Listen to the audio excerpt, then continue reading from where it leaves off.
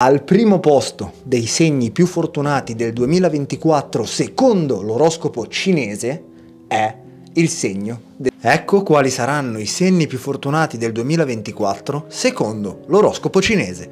Allora signori, per chi non lo conoscesse esiste anche l'oroscopo cinese.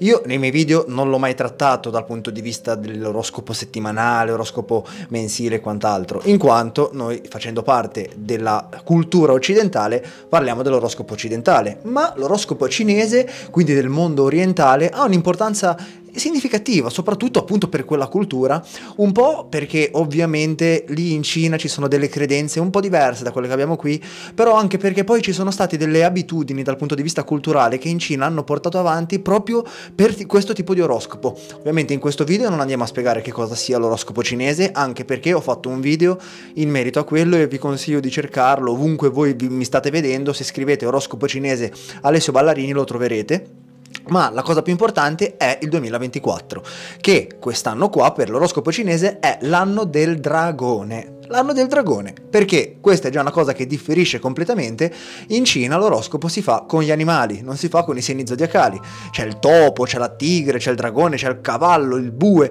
e chi ne ha più ne metta. La cosa più bella del dragone è che caratterizza la leadership, caratterizza una smania di protagonismo, ma anche di prosperità.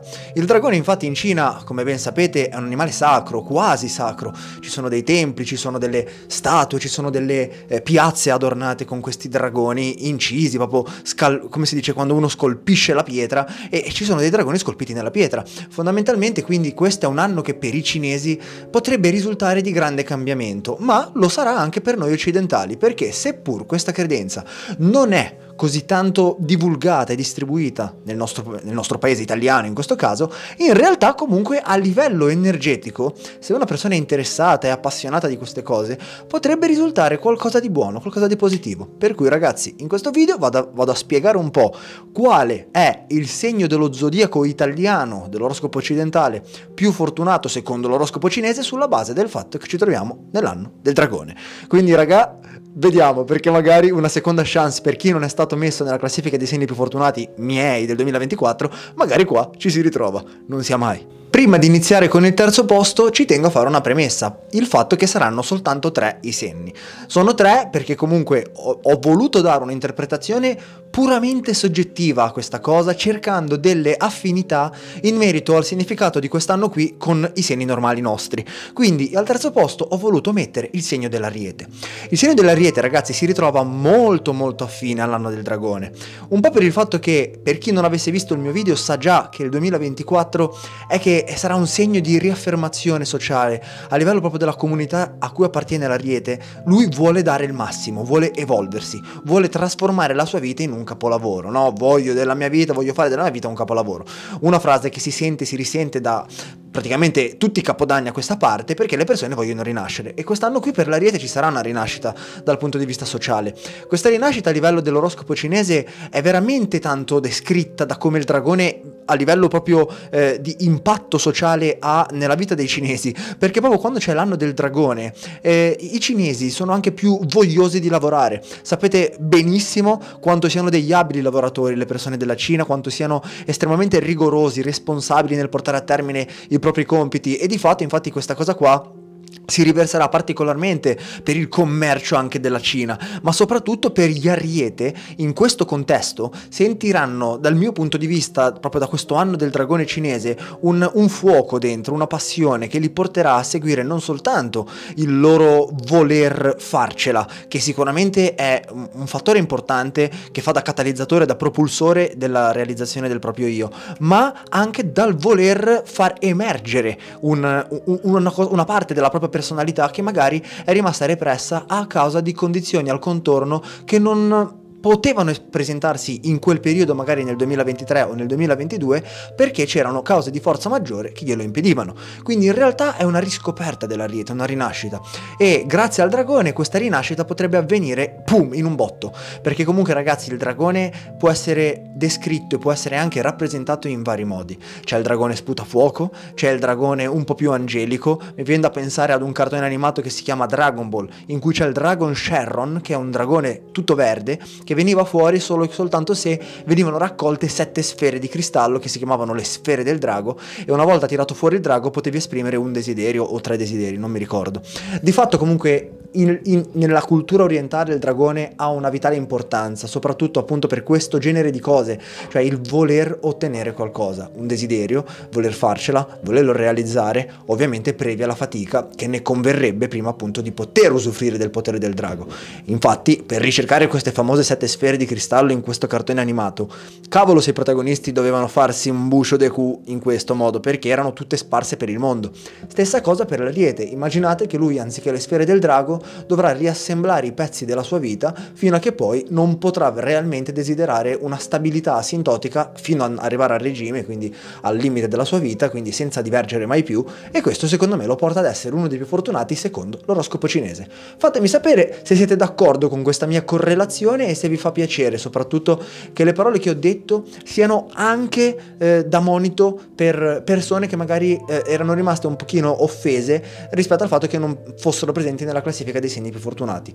Però in generale per me l'Ariete se lo meritava. Al secondo posto, ragazzuoli miei e anche ragazzuole mie, c'è il segno dei pesci. Non me ne volete, lo so che anche nella classifica dei segni più fortunati misi il segno dei pesci proprio in questa posizione.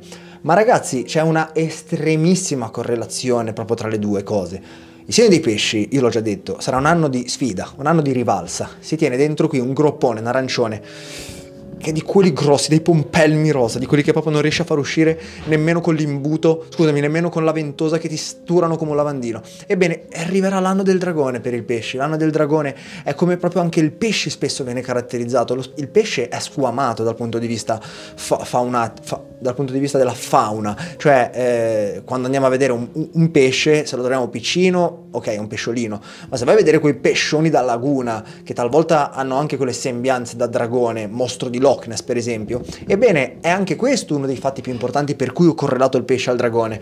Voi lo prendete per una cavolata, ma in realtà in Cina l'oroscopo ha una valenza anche per le sembianze e le abitudini dell'animale. Se mi viene a parlare del bue, ed è un segno appunto cinese, il bue viene caratterizzato proprio per il fatto che è un amante del cibo, proprio per il fatto che è molto forte, ha una personalità difficile da abbattere, è una persona che non si lascia sconfiggere.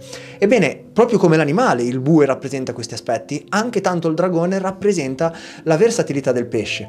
Il dragone però di buono ha anche un'altra cosa, quello di poter uscire dall'acqua, quello di poter anche volare. Infatti ci sono delle leggende in cui i dragoni hanno le ali e volano e i dragoni possono fare veramente quello che gli pare e piace se sono in cielo, possono decidere di volare senza dar fastidio a nessuno, se invece decidono di stanziarsi in una roccia dove poter sorvegliare tutto quello che sta sotto lo possono anche fare. Il pesce farà questo. Il pesce avrà una forza mentale talmente tanto elevata che se vuole fermarsi un secondo per riprendere fiato dopo tutte le salite che farà nel 2024, lo potrà fare perché tanto sarà mille passi avanti agli altri. Avrà preso una rincorsa per poter appunto... Eh, ma far mangiare la polvere a, fra virgolette, i suoi competitors, che potrà prendersele queste pause, proprio come fanno i dragoni. I dragoni che sono lì che sbuffano e che pensano a quello che dovrà fare il giorno dopo, quando si sarà riposato, si sarà fatto anche magari un sonnellino lì su, quel bel, su quella vetta dove la sua vista è veramente spettacolare, ebbene il pesci questo è rappresentato dal dragone quest'anno qua. La cosa più bella ovviamente che al pesce ho sempre detto è che nonostante eh, la vita lo ponga sempre di fronte a degli ostacoli che lui non riesce spesso ad aggirare per il fatto che purtroppo è una persona troppo buona e quindi se si tratta di dover fare un torto a qualcuno cioè, vuole piuttosto soffrire lui piuttosto piuttosto che farla agli altri. Quest'anno qui non capiterà.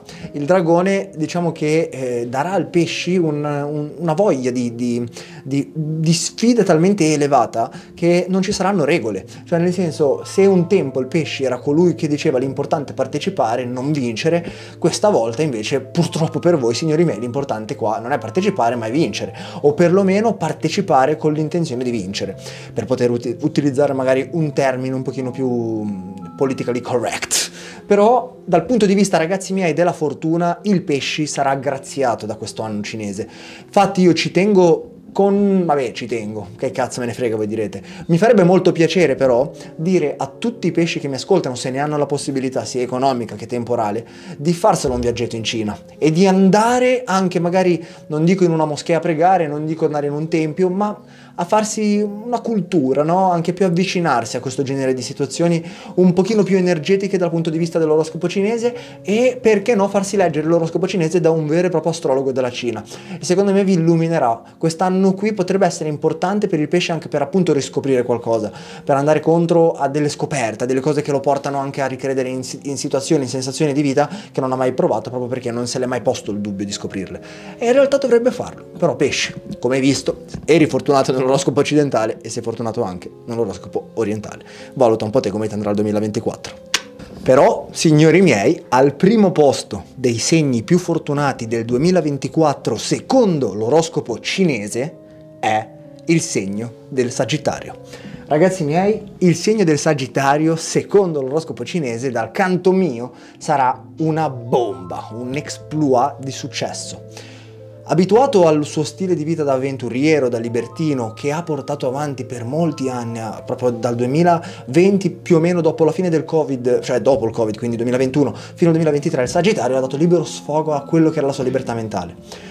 Tutti i Sagittariani sono arrivati alla fine dell'anno che probabilmente si sono già hanno già iniziato ad annusare una nuova situazione di vita, magari una relazione, magari un amore nuovo, magari un lavoro nuovo, magari quello che vi pare piace, comunque un qualcosa di nuovo qualunque sia esso il campo. Ma quello che accadrà nel 2024, proprio grazie all'anno del dragone, sarà un Sagittario che accetterà di affrontare una sfida, ma stavolta non è una sfida dal punto di vista lavorativo e né tantomeno una sfida dal punto di vista, diciamo, del viaggiare. È una sfida che magari lui non si è mai posto nemmeno il dubbio che un giorno l'avrebbe dovuta fare, proprio perché sapeva, sapeva, di essere lontano anni luce da questa situazione. E ora vengo al dunque. La sfida sarà più personale, introspettiva, e sarà una sfida che supererà pieni voti. Il Sagittario, oh, si prenderà un periodo di pausa dal suo essere sempre dinamico e in movimento, si stabilizzerà. Il Sagittario nel 2024 sarà graziato e baciato dalla fortuna della vita nel riuscire a stare bene con una persona e a trovare nelle abitudini un senso di pace. Sagittario è contro la monotonia, è contro le cose che si ripetono a manovella, è contro le cose sistematiche. È una persona che pur di dare veramente quel sale nella vita andrebbe incontro anche a commettere errori e a commettere irresponsabilità tali da pentirsi di averle fatto. Ma per quest'anno non sarà così. Sagittario si troverà bene con qualcuno, si troverà bene nel fare le stesse cose, anzi troverà il bello nel fare le stesse cose. Uh, stavo per staccare tutto, mannaggia la pupazza, mi sto appoggiando al microfono, ve lo lascio io questo dietro le quinte, voi lo sapete che io sono, sono trasparente, mannaggia la pupazza, eh cacca. Dicevo che Sagittario, ecco vedi Sagittario, queste cose se capitano, a lui fa piacere, perché una cosa in più, e eh, me ne frega il microfono che va giù tanto. Comunque, Torniamo seri, il Sagittario è una persona che quest'anno qui andrà veramente ad abbracciare il nuovo stile di vita secondo l'anno del dragone. E voi vi direte, ma ragazzi, ma il dragone, la sfida è quello e quella... È una sfida questa, signori, è una sfida.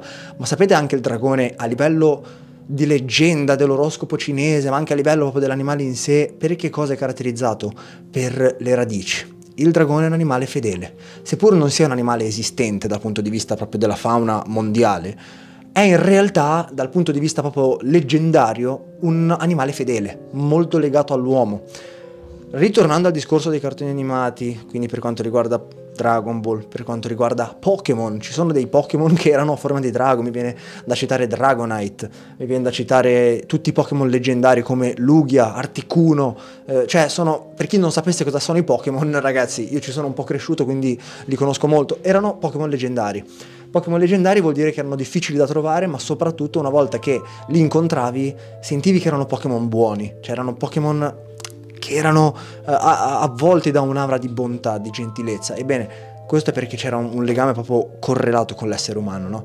E il fatto che ci sia questa correlazione, l'essere umano con questi animali dragoni leggendari, è dovuto al fatto che hanno anche loro delle radici che sono messe nel, nel punto in cui le mettiamo noi. Cioè di fatto l'essere umano vive coi piedi per terra, le, le sue radici sono piantate sulla terra, vuoi per la forza di gravità scientificamente parlando, vuoi perché siamo nati attaccati alla terra. Però in generale c'è questo flusso energetico tra il dragone e l'uomo e questo flusso energetico per il Sagittario avrà un, un, un'influenza, avrà un'efficacia dal punto di vista proprio della stazionarietà della propria vita, del trovare un, una, una un appagamento, una soddisfazione personale, una gratificazione di ciò che si è raggiunto non più nel cambiamento ma nel ritrovamento di cose che magari davi per scontate appunto essere presenti lì ma che in realtà dovevano essere scoperte tantissimo. Per cui per me l'anno del dragone andrà a caratterizzare la fortuna del Sagittario in questo aspetto, anche dal punto di vista lavorativo comunque ci sono dei, delle bellissime notizie che proprio per il fatto che non si lamenterà più del fatto che magari non gli piaceva il tipo di lavoro o cosa, ma andrà a scovare degli aspetti nascosti del lavoro, proprio per il fatto che si metterà sempre in gioco, seppur nello stesso campo.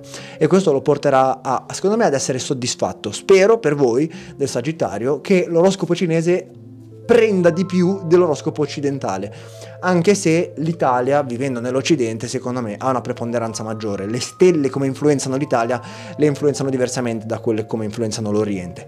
Anche se, signori miei, sappiamo tutti che tutto il mondo è paese, quindi in realtà siamo un pianeta all'interno di una galassia contenente miliardi di stelle e di ulteriori galassie all'interno dell'universo, per cui signori l'effetto che può avere una stella sulla Terra come l'effetto che può avere una stella sulla Cina potrebbe essere il medesimo, se non addirittura una realtà che non riusciamo a comprendere e che quindi siamo noi a doverci, fra virgolette, autocreare una realtà fittizia che ci possa far stare bene, proprio come potrebbe fare per noi l'astrologia e farci stare meglio. Detto ciò, signori miei, io sono stato fedele un pochino alla classifica dei segni fortunati che ho fatto io nell'oroscopo occidentale, mantenendo il pesci, dando qualche bitta all'ariete, il Sagittario è stato premiato anche per il fatto che dal punto di vista proprio della rappresentazione simbolica centauro, mezzo uomo, mezzo cavarro o mezza donna, mezzo cavarro, cavarro con la R mi raccomando, eh, mi ricorda anche spesso cioè spesso mi ricorda molto il dragone, cioè mi ricorda molto la figura proprio mitologica, il centauro è mitologico, il dragone è mitologico, insomma ci sono delle correlazioni anche di questo genere. Sagittario può sputare il fuoco, è un segno di fuoco, il dragone può sputare fuoco, insomma ci sono delle belle cose, dei legami che secondo me correlano i due, le, i due a, questo, a questo genere di simbiosi astrologica. Ora signori miei, spero che vi sia piaciuto questo breve video, se vi dovesse far piacere una, una piccola rubrica, piccola perché non so quanto lunga possa essere poi nel fin dei conti, dell'oroscopo cinese posso dimesticarmi in giro, farmi una breve cultura su quest'ultimo in termini più specifici, quindi esempio Ale mi parli un pochino del, non del mio segno dell'oroscopo cinese perché quello andate su internet e ve lo vedete però magari mi chiedete Ale mi, mi, puoi dire gentilmente se per l'anno del dragone per il segno del esempio toro ci sono delle situazioni buone eccetera cosa dovrei fare secondo la Cina eccetera potrei provare a fare qualcosa. Non ve lo prometto perché sicuramente ho tanto altro da fare. Detto ciò, eh, come sempre, mi dispiace perché non era presente in questa classifica. Ovviamente nove persone si potranno consolare fra di loro, nove segni che non sono stati citati, quindi abbracci, tanti saluti e godetevi i miei video che sono quelli occidentali. Detto ciò, per chi ancora non l'avesse fatto, ovviamente lì c'è il calendario zodiacale, lo potete ancora acquistare. Vi metto qui una, breve, una piccola foto così ve lo ricordate. Ringrazio estremamente col cuore aperto tutte le persone che A, nel video che ho pubblicato l'altra volta dove parlavo un pochino di una recensione che era un pochino bruttina, mi avete confortato, apprezzo tanto il vostro sostegno, il vostro supporto, mi fate sentire, cazzo, mi fate sentire realizzato, ma B, ci tengo anche a ringraziare tutte le persone che continuamente invece continuano a fare ordini sul mio sito, che mi sostengono, mi danno il supporto necessario a poter continuare a fare questo. Io ragazzi sono grato di questo, ci saranno delle belle per il 2024 per il sito, state veramente sintonizzati perché non smetterò mai di crescere e non smetterò mai di fare errori. Per cui ragazzi miei, dagli errori si impara, voi mi insegnate anche come si cresce ed è per questo motivo che probabilmente io non smetterò mai di farne di errori, perché voi siete la mia carica per continuare ad imparare da questi. Ciao!